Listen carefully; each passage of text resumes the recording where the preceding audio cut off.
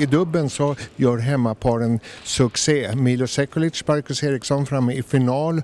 Alldeles nyss har vi sett Fred Simonsson och Isak Arvidsson gå till semifinal. Grattis! Tack så jättemycket. Det här, vi spelade faktiskt väldigt bra idag känner jag. Ehm, det var väldigt mycket juice, vi fick med mycket bollar. Ehm, men vi hade bra, vi, vi spelade bra, sen hade vi tur när det gällde också. Det kanske man förtjänar. Är ni förvånade över Mackans och Milos framgångar?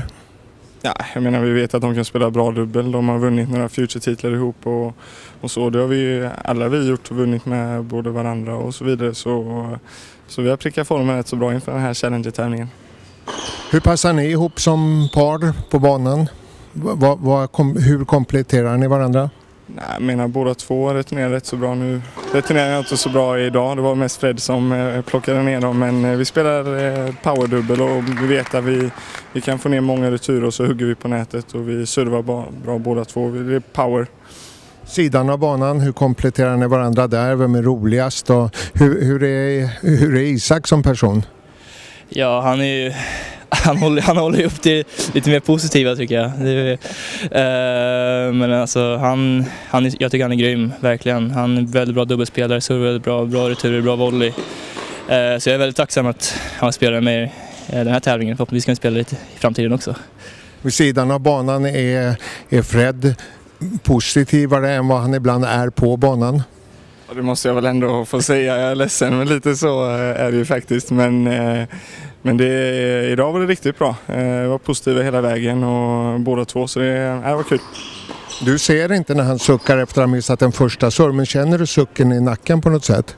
Uh, nej, men jag vet om att han brukar göra det. Så, så nej, men, uh, men han ju bra idag så det, då är det skitsamma. Vad har ni för intressen vid sidan av? Vad snackar ni om när ni inte spelar tennis och inte snackar tennis? Ja, mycket fotboll, mycket Premier League. Fred är ju tyvärr ett Arsenal-fan.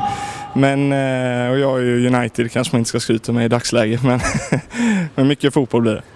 När det inte är fotboll, vad pratar ni då om? Ja, jag vet inte riktigt. Eh, det är väldigt... det är mycket som inte behöver nämnas tror jag. Eh, Nej, jag vet faktiskt inte riktigt. Jag håller på oss själva just nu faktiskt. Enorma dubbelframgångar här. Hur, värderar ni, hur högt värderar ni den här semifinalplatsen? Såklart vi värderar den väldigt högt. Jag menar första gången eh, eh vi två spelar tillsammans i en Challenger och går till semifinal direkt och slår första sidade så det är klart det är ju en av de bästa tävlingarna hittills i, i dubbelkarriären. Du är 23 år, Fred är 21. Finns det någon tanke att man säger så här att det är väldigt tufft att ta sig igenom och komma in på ATP-touren i singel? Finns det någonting att man säger att man ger det här fyra år, fem år, sen satsar vi på dubbel? Finns någonting sånt i bakhuvudet hos er? Alltså, just nu så spelar man ju båda. Det är så det ligger till. Och sen så, sen så kanske, sen såklart kanske kommer en dag man bara okej, okay, ja börjar bli, bli, börjar bli lite gammal kanske eh, och dubbeln går väldigt bra såklart men då är det klart man fortsätter spela tennis för det är det vi vill göra.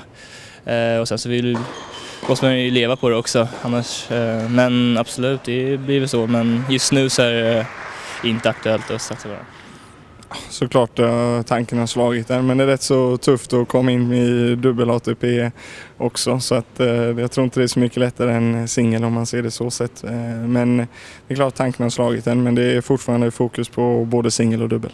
Vilket är Sveriges bästa dubbelpar? Ja, det är vi.